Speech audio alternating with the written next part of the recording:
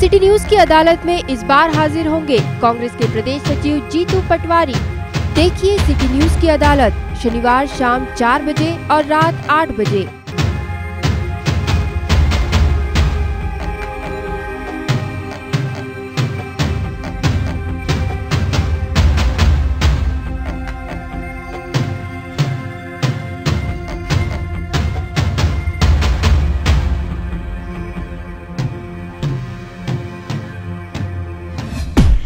नमस्कार city news की अदालत में आज हमारे साथ हाजिर हैं प्रदेश कांग्रेस के सचिव और प्रदेश युवक कांग्रेस के पूर्व अध्यक्ष जीतू पटवारी जी। पटवारी जी सिटी न्यूज़ की अदालत में आपका बहुत बहुत स्वागत है। नमस्कार। मैं जनता की पैरवी करूँगा और सीधे वो सवाल दागे जाएँगे यहाँ पर जीतू पटवारी के सामने, जिसका जनता चाहती है जवाब और किस तरीके से पिछले चार सालों में, यानी कि मिशन 2013 के पहले कितनी मेहनत की है जीतू पटवारी जी ने, सीधे उन्हीं के श्रीमुख से जानेंगे। जीतू जी, सबसे पहला सवाल आपके सामने जनता की ओर से आता है। सिटी न्यूज़ की अदालत में सिटी न्यूज़ के दर्शक चाहते हैं कि राऊ विधानसभा में जीतू पटवारी एक ऐसा नाम है जो एक फ़ोन कॉल पर जनता के बीच हाजिर हो जाता है और एक ऐसा नेता है जो सुबह पाँच बजे से मॉर्निंग वॉक में जनता के साथ कंधे से कंधा मिलाकर दौड़ता नज़र आता है उनके साथ जिम करता नज़र आता है और शाम को उनकी समस्याओं का समाधान करता नज़र आता है कहाँ से मिलती है राजनीतिक ऊर्जा जीतू पटवारी को नहीं बात यह है कि सार्वजनिक जीवन में जिस दिन हमने एक तरह से स्वाभाविक रूप से व्यक्ति जुड़ता है और जी। लोगों की दिनचर्या की समस्याओं को लेकर अगर आप उनकी बात करते हैं उनके दुख दर्द को पहचानते हैं उनको समझने की कोशिश करते हैं तो मैं समझता हूँ उनके एक एक तरह का उनका आशीर्वाद या उन तरह उनकी दुआएँ इतनी होती है कि अपने आप ऊर्जा देती है। बिल्कुल। और उन दुआओं के साथ अगर फिर आदमी चलता है और आपकी कहता है कि हाँ भैया इसने मेरा ये काम करवा दिया एक राजनीतिक व्यक्ति के लिए या हमारे इस संस्था के लिए काम करा दिया इस समाज का काम करा दिया ये सार्वजनिक काम करा दिया तो उसकी ऊर्जा ही एक राजनीतिक व्यक्ति को ज़्यादा ऊर्जा देती है, मैं समझता हूँ, यही एक ऊर्जा है। बिल्कुल ठीक है चलिए, राऊ विधानसभा के आप प्रहरी हैं, कांग्रेस के जाबाज सिपाही हैं और राऊ विधानसभा का प्रतिनिधित्व कर रहे हैं अपनी पार्टी में। आगे बढ़ते हैं, युवक कांग्रेस के जब प्रदेश अध्यक्ष के तौर पर जीतू पटवारी का नाम कांग्रेस आलाकमान ने घोषित किया था, वैसे ही युवक कांग्रेस की सेना में जान सी फूक दी थी आपने। ऐसा कौन सा फॉर्मूला था कि पूरे प्रदेश में, खासतौर पर मध्य भारत के मध्य प्रदेश में युवक कांग्रेस की लंबी फौज जो आपने तैयार की है, उसका फ़ायदा कहीं ना कहीं वर्तमान प्रदेश अध्यक्ष प्रियव्रत सिंह उठा रहे हैं। क्या लगता है कितनी मेहनत की थी कांग्रेस? बात ये है कि आपको जो भी पार्टी काम देती है या जीवन में जो भी आपको काम मिलता है वो भगवान की एक ऐसी आप पे कृपा होती है उसको पूरी ताकत से करना चाहिए। जी जी। और यूथ कांग्रेस का मैं अध्यक्ष था तो मैंने कोशिश की थी कि मेरा जो पार्टी के प्रति समर समर्पण है और पार्टी की नीतियों को आम जनता तक आम युवाओं को जोड़ने से लेके उनके पार्टी के काम को आम जनता तक ले जाने का मैंने भरचक प्रयास किया था। मैंने खूब कोशिश की दिन रात मेहनत करके कि हर युवा को मैं टच करूँ। मैंने पूरे प्रदेश के दौरे किए थे, पूरे प्रदेश के ब्लॉक ब्लॉक घूमने की कोशिश की थी और मुझे अच्छा भी लगा कि लोगों का नए युवाओं का समर्थन मुझे मिला और एक यूथ कांग्रेस की पहचान और ताकत से बनी। वर्तमान में प्रदेश कांग्रेस के आप सचिव हैं, कांग्रेस कमेटी की बात करें या कांग्रेस के वर्तमान हालातों की अगर हम बात करें तो प्रदेश में किस तरीके से आप कांग्रेस की स्थिति का आकलन करते हैं? क्योंकि 2013 अ, साल नया शुरू हो चुका है और विधानसभा चुनाव लगभग की आहट होने वाली है। ऐसे में कांग्रेस के हालातों पर अगर हम बात करें प्रदेश सचिव होने के नाते क्या नज़रिया बनता है आपका? नहीं आप किसी भी ज़िले में हम जाते हैं या किसी भी लोकसभा क्षेत्र में हम पूरे प्रदेश में जाते हैं तो जब मैं कार्यकर्ताओं से बात करते हैं या नेताओं से बात करते हैं आम जनता से बात करते हैं पूछते हैं कितनी सीटें कांग्रेस की आएगी। बिल्कुल। तो मुझे आश्चर्य होता है कि कहीं भी ये नहीं लगता है कि कोई कहता है कि यह आठ सीट है एक लोकसभा में से तो पाँच आएगी। बिल्कुल। सब पाँच छह सीटें हर हालत में बताता है। बिल्कुल। जिस तरीके से मध्य देश में अटल बिहारी वाजपेयी जी प्रधानमंत्री से उन्होंने फील गुड चलाया था उसी प्रकार से शिवराज सिंह जी अपने केंद्र के पैसे के विज्ञापनों से और केंद्र के पैसे के दुरुपयोग से अपनी पालिश एक जीवन शैली को बना रहे हैं अपनी छवि को बना रहे हैं और वो 2013 में उसका दम निकलेगा और जनता कहेगी कि आप गलत थे और कांग्रेस पार्टी को समर्थन देगी। अगर आपकी विधानसभा की बात करें तो विधायक हैं जीतू जिराती। आपके हालाँकि बहुत नजदीकी माने जाते हैं आपके दोस्त भी हैं व्यक्तिगत तौर पर। क्या लगता है उनकी चुनौती को किस तरीके से आप मानते हैं और जो आपने मेहनत इन पिछले चार सालों में की है किस तरीके से भाजपा को पटखनी देने के लिए कांग्रेस के जाबाज सिपाही जीतू पटवारी ने राऊ विधानसभा के चक्कर लगाना तेज कर दिए हैं और जो लगातार मेहनत की है उसका कितना प्रतिफल मिलता आपको दिखाई दे रहा है? बात यह है कि राजनीति में दो व्यक्ति लड़ते हैं एक हारता है एक जीतता है। बिल्कुल। मेरा स्पष्ट और दृढ़ संकल्प है स्पष्ट मानना भी है और मेरी ताकत से मैं इस बात को बोलता हूँ कि राजनीति में जीत कर तो सब सेवा करते हैं। हार कर सेवा कैसी होती है इन पाँच सालों में चार सालों में मैंने सीखा है। बिल्कुल ठीक मैंने हमेशा प्रयास किया है कि जो व्यक्ति मेरे पास आया है कहीं न कहीं या जो मेरे से किसी ने कोई आस लगाई है मैं उसको पूरी करूँ। कभी एहसास ही नहीं हुआ इस बात का कि मेरी सरकार नहीं है। अधिकारियों का समर्थन मुझे मिला कर्मचारियों का समर्थन मिला जनता का प्यार मिला। कहीं भी जाता हूँ किसी भी मोहल्ले में तो कभी एहसास नहीं हुआ कि मैं हारा हुआ हूँ। सबने सर आँखों पे बिठाया तो इस बात की और मेरी ताकत से बलवित हुई और मेरे में मन में एक ऊर्जा निकली कि नहीं और ताकत से हम और वो सतत चलता रहा। मुझे ऐसा लगता है कि अगर मैं चुनाव 2013 में लड़ा और पार्टी ने मुझे टिकट यहाँ रहूँ से ही लड़ाया तो मुझे जनता फुल समर्थन देगी।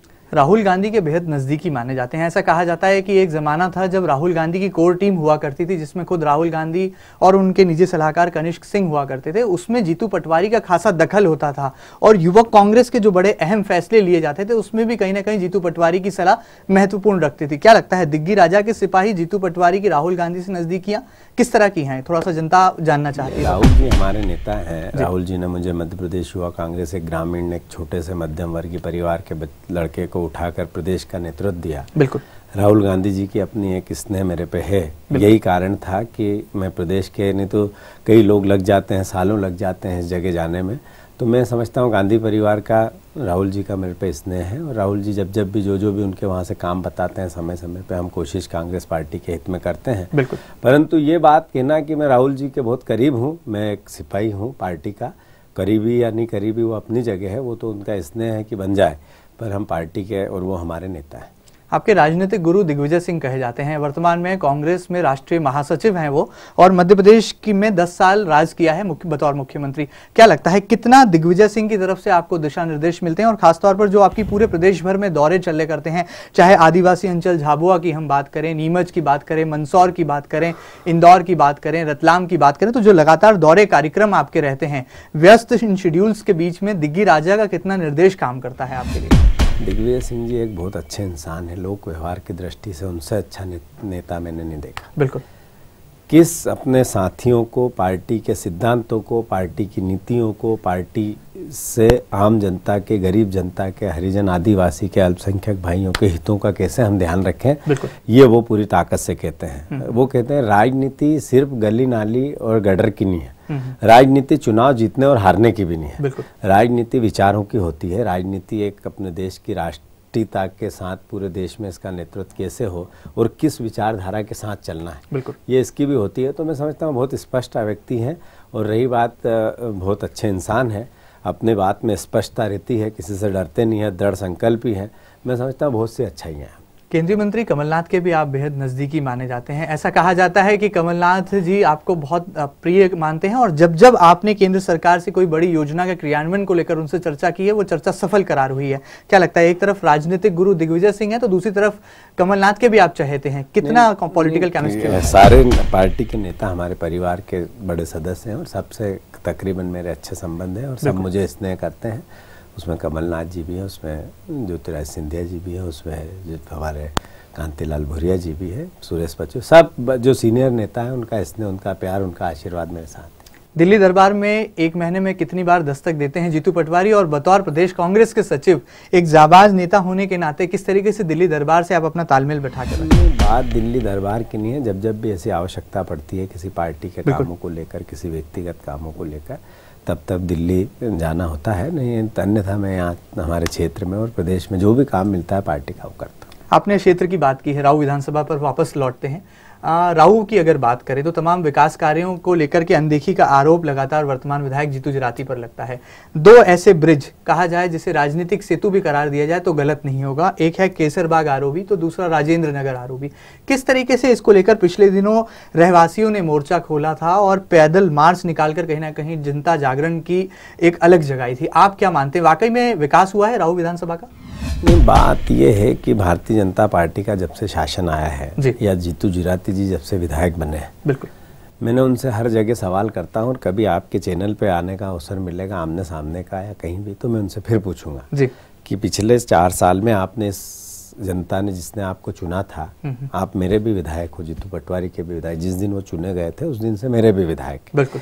मेरा हक बनता है उनसे सवाल पूछने का। मैं आपके चैनल के माध्यम से उनसे पूछना चाहता हूँ। जी बिल्कुल। आपने ऐसे कौन से काम किए हैं जो आप इस राव विधानसभा में ऐतिहासिक बता सकते हैं कि ये मैंने करवाया। बिल्कुल ठीक कहा। केंद्र की योजनाओं को आप कहते हैं ये मैंने बनवा दिया उसमें आपका क्या योगदान है? बिल्कुल ठीक है। विधायक निधि के पैसे को आपने कितना दुरुपयोग किया है वो हमारे पास सूचना के अधिकार से आ गया है वो सब समय आएगा जब बताऊँगा। बिल्कुल ठीक है। आपने प्रदेश की सरकार में एक अच्छे उहदे पे प्रदेश युवा मोर्चा के अध्यक्ष रहते हुए सारे मंत्रियों से आपके संबंध हो सकते हैं। जिस परिस्थिति में था उस परिस्थिति में राव विधानसभा का नक्शा प्रदेश में होना था। बिल्कुल ठीक विकास को लेकर बिल्कुल ठीक है। आपने उसके विपरीत एक कॉलोनी में ऐसी बता दें जिसमें आप इस विधानसभा में एक बार से अधिक चले गए हो।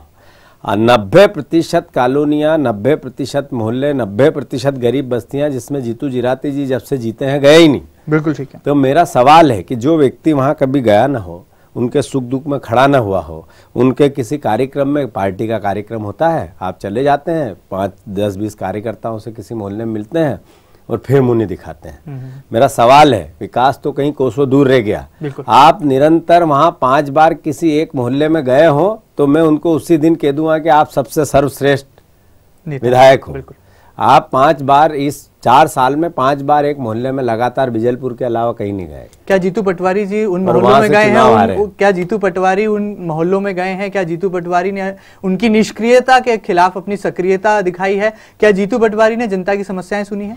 नहीं बात जीतू जिराती ने क्या किया इसका तो मुझे मैं इस अवसर पर बात नहीं करना चाहता हूँ पर एक एमएलए होने के नाते उनको जाना था। रही बात मेरी ये मैं जवाब दूँगा तो ठीक नहीं लगेगा ये जनता से पूछना चाहिए कि जीतू पटवारी हारने के बाद भी आपके बीच में रहा कि जीतू पटवारी जी एक सवाल और सिटी न्यूज़ के पास आया है। ये भी जनता की ओर से है। जनता की पैरवी जनता की वकालत कर रहा हूँ मैं। ऐसा कहा जाता है कि जीतू जिराती को विधायक बनाने के बाद प्रदेश युवा मोर्चे का अध्यक्ष बनाने में भी महती भूमिका जीतू पटवारी की रही। आप पूछेंगे कैसे? तो जनता ने सीधे तौर पर कहा कि जब कांग्रेस ने राउ विधानसभा के ही जीतू को मौका दिया युवक कांग्रेस को चलाने का तो वहीं भाजपा ने भी विचार किया और भाजपा ने अपने युवा मोर्चे की कमान जीतू जिराती को सौंप दी। आप इससे कितना सहमत है? क्या जीतू पटवारी का योगदान है उन्हें अध्यक्ष बनाने नहीं मैं ऐसा नहीं मानता हूँ। जीतू जिराती और उनकी पार्टी का अपना मामला है। बिल्कुल। उनमें उसमें योग्यता देखी होगी तो उनको दायित्व दिया। कांग्रेस पार्टी ने मुझे में देखी होगी तो मुझे दायित्व दिया। जब चुनाव हुआ हमारा आमने सामने तो जनता ने मुझसे बेहतर उनको समझा होगा तो उनको चुना। मेरा काम है विपक्ष का मैं कर रहा हूँ। क्या लगता है प्रतियोगिता ने कहीं ना कहीं उन्हें प्रदेश अध्यक्ष बना दिया? ये आप मेरे से बेहतर समझते हैं, जनता मेरे से बेहतर समझती है। चलिए फिर विधानसभा पर लौटते हैं। ऐसा कहा जाता है कि राऊ विधानसभा के जितने सभ्य इलाके हैं या जो बड़े मोहल्ले हैं या जो बड़े क्षेत्र हैं, जो जनाधार वाले क्षेत्र कहे जाते हैं, वहाँ के तमाम जो रहवासी संघ हैं, वो जीतू पटवारी की संस्था लक्ष्य के साथ जुड़े हुए हैं। आपका ये जो लक्ष्य है, कहा जाए जो सीधे तौर पर राजनीतिक लक्ष्य है, ये किस तरीके से रहवासी संघों के साथ तालमेल बिठाता है? और कहा जा रहा है कि राऊ विधानसभा ऐसी विधानसभा है जहाँ पर चारों तरफ़ लक्ष्य का ही बोलबाला है। नहीं बात इतना है कि पहले तो लक्ष्य संस्था राजनीतिक नहीं बिल्कुल। गैर राजनीतिक। बिल्कुल ठीक है।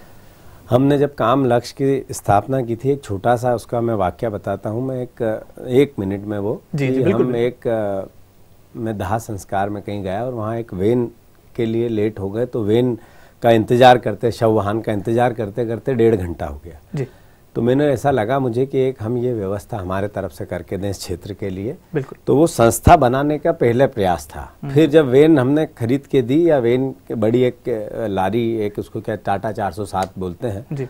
हमने सब दोस्तों ने मिलकर एक गाड़ी खरीद के दी। उसके बाद इसका विचार आया। जी। और इसका विचार आया जी उसी दिन ये बीच था कि स्वामी विवेकानंद को हमने हमारा आराध्य बनाया। कि उनके जैसे या उनके विचारों से प्रेरित होकर हमने ये काम चालू किया और उसमें सेवा के भाव ही होते हैं राजनीतिक भाव होते नहीं। बिल्कुल बिल्कुल।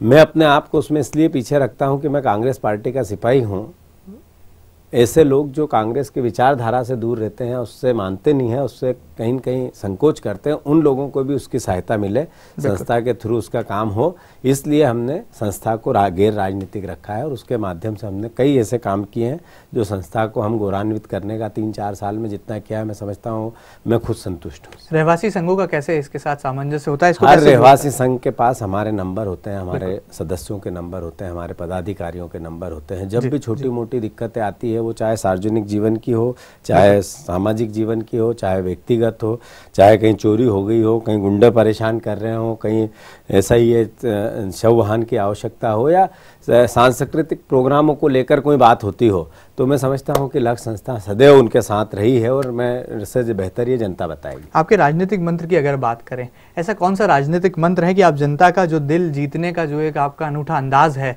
उसको हरदम कायम रखते हैं? जो एक फॉर्मूला है आपके पास, कोई व्यक्ति आया, पीड़ित आया, आपके पास समस्या लेकर आया, शिकायत लेकर आया, उसकी तत्काल प्रभाव से जो सुनवाई होती है, कौन सा राजनीतिक मंत्र है कि लगातार जो है जीतू पटवारी लोगों के दिलों पर राज करने लगते हैं? ये बात लोगों के दिलों पर राज करता तो मैं समझता हूँ चुनाव जीतता परंतु मैं कोशिश करता हूँ वर्तमान स्थितियों की कोशिश करता हूँ हमेशा कि जो व्यक्ति अपने पास आया है वो संतुष्ट होके जाए हम्म। और प्रयास ईमानदारी से करता हूँ काम होना नहीं होना वो ऊपर वाले का और उसके भाग्य होता है।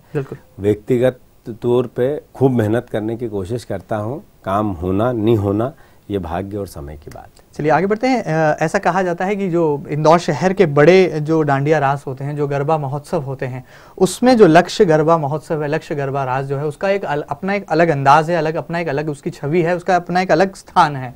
और लगातार फिल्मी कलाकार टीवी कलाकारों को बुलाना और खास तौर पर जब बड़ी संख्या में जनसमूह वहाँ पर जुटता है। युवक युवतियाँ डांडिया रास रचते हैं तो उस बीच जीतू पटवारी अचानक भीड़ से निकलते हैं और जनता से हेलो हाई करते हुए सीधे जो है डांडिया रास में देवी चरणों में अपना नमन अर्पित करने पहुँच जाते हैं। ये कौन सा फॉर्मूला है? और इससे ये ये आपको प्रेरणा कहाँ से मिली कि देवी की आराधना का जो ये तौर तरीका आपने निकाला? नहीं हम हम जिस देश में रहते हैं वो अलग अलग धर्मों का देश जी। मैं गर्व से कहता हूँ कि मैं हिंदू हूँ और हिंदुस्तानी हूँ। बिल्कुल ठीक है। तो राष्ट्रीयता की बात भी हमारे इसमें है और मैं चूँकि माता जी के हमारे हिंदू धर्म में बड़ा एक महत्वपूर्ण स्थान है देवी देवताओं का जी। तो उनके आधार पर यहाँ की परंपराएँ बनी हैं यहाँ के सांस्कृतिक प्रोग्राम बने हैं और उसी को आधार बना के हमारी लक्ष्य संस्था ने वो चालू किया था। मैं समझता हूँ कि जनता का प्यार ज़्यादा मिला तो ज़्यादा उत्साह से हमने काम किया और ज़्यादा उत्साह से काम किया तो बहुत अच्छा काम हो रहा है उस क्षेत्र में। तो मैं समझता हूँ कि जब जनता आती है तो अपने आप मन होता है कि उनकी सेवा करें उनकी उनसे हेलो हाय करें उनसे प्रणाम करें उनको चरण छुएँ। तो वो एक स्वाभाविक प्रक्रिया है।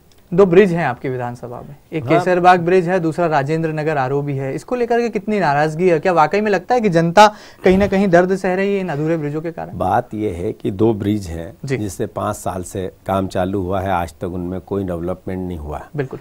दो ब्रिजों के अलावा भी बहुत सी चीज़ें सड़कों की हालत आप देखोगे एक भी रोड की हालत आप देखोगे जो राहू विधानसभा पीडब्ल्यूडी के अंतर्गत आती है जो राज्य सरकार की है। जी बिल्कुल। आप बात करोगे कोई ऐसा एजुकेशन इंस्टीट्यूट इस विधानसभा में नहीं आया गया है या जो है उसको भी ढंग से काम नहीं हो रहा है उसके अलावा भी बहुत से ग्रामीण क्षेत्र की इतनी बड़ी समस्याएँ जहाँ भूमि अधिग्रहण अधिनियम की बात हुई है जहाँ भूमि अधिग्रहण हो रही है। कोई बात नहीं हो रही है सरकार की तरफ़ से कि जनता की मदद की जाए। बात इतनी है कि बिजली को लेकर बड़े बड़े बिल आ रहे हैं। गरीबों के राशन कार्ड नहीं बन रहे हैं। गरीब आदमियों के राशन की प्रक्रिया जो सामा वितरण प्रणाली है सार्वजनिक वितरण प्रणाली उसमें बहुत बड़ी चोरी हो रही है। अवैध शराब बिक रही है। इस इस पूरी विधानसभा को एक अवैध धंधों का अड्डा बन गया है। सरकार इस पर अनभिज्ञ है उसकी लड़ाई हम आने वाले समय में और ताकत से लड़ेंगे। क्या लगता है? जीतू पटवारी जी राहु विधानसभा को लेकर अपनी मेहनत तो कर रहे हैं और लगातार आपने जैसा कहा कि जीतने के बाद विकास कार्य अलग ढंग से होते हैं और हारने के बाद मेहनत का जो प्रतिफल है वो अलग स्वरूप में सामने आता है। जीतू पटवारी, एक ऐसा नाम इंदौर की राजनीति में कहा जाए, अगर इंदौर के नज़रिए से देखें तो जिसे राहु विधानसभा का भी दावेदार माना जाता है तो वहीं विधानसभा क्षेत्र क्रमांक पाँच में भी जीतू पटवारी की सक्रियता दिखाई देती है। तो वहीं कभी कभी देपालपुर विधानसभा में भी जीतू पटवारी बड़ा आयोजन कर अचानक से राजनीतिक समीकरणों को बदल देते हैं। ये कौन सा राजनीतिक राजनीतिक फॉर्मूला है जीतू पटवारी के बात ये नहीं है हम सार्वजनिक जीवन में काम करते हैं पार्टी का काम करते हैं कहीं भी जाना आना पड़ता है। हम्म। इसका मतलब ये नहीं कि हम सब जगह से चुनाव लड़ना चाहते हैं और चुनाव जीतना भी मैं समझता हूँ कि एक विधानसभा आपकी है उसमें पूरी ताकत से सेवा करो पार्टी मौका दे तो वहाँ जीतने की कोशिश करो। मैं राहू से चुनाव लड़ने की इच्छा रखता हूँ बाकी पार्टी का जो निर्देश होगा पालन होगा। क्या लगता है मिशन 2013 बहुत नज़दीक है। किस तरीके से आपकी तैयारियाँ हैं और कांग्रेस पार्टी की तैयारियाँ हैं और क्या लगता है किस तरीके से कांग्रेस का हाथ जो है आम आदमी के साथ कांग्रेस पार्टी ने केंद्र सरकार की नीतियों को आम जन तक ले जाने के लिए वो चाहे केस सब केस सब्सिडी हो या किसानों को लेकर केस सब्सिडी की बात होती हो। कांग्रेस पार्टी ने राहुल गांधी ने सोनिया गांधी ने जो एक महत्वपूर्ण कदम उठाया है कि इस गरीबों के बीच का पैसा जो बिचौलिया खा जाते हैं उनको राशन का पैसा उनको सब्सिडी का पैसा उनको जो बीच का कार्यकर्ता नेता या अधिकारी या बिचौलिया दलाल कोई भी खा जाता है उसको डायरेक्ट केस सब्सिडी ये एक ऐसी योजना है जो गरीब की सेवा करती है।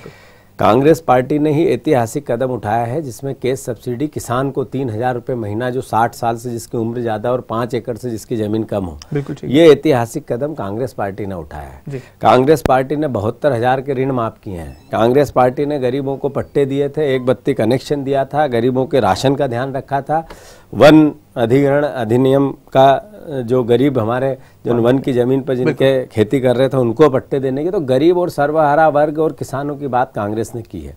इन सब के आधार पे पिछले चुन सरकार जब कांग्रेस की थी जब दिग्विजय सिंह जी की सरकार जब मुफ़्त बिजली किसानों को दी थी हरिजन आदिवासियों का ध्यान रखा था अल्पसंख्यक भाइयों का ध्यान रखा था इन सब आधार पर कांग्रेस का मूल्यांकन आम जनता करेगी। और 2013 में मैं 100 में से 120 नंबर इस बात को देता हूँ कि कांग्रेस की ही सरकार बनेगी।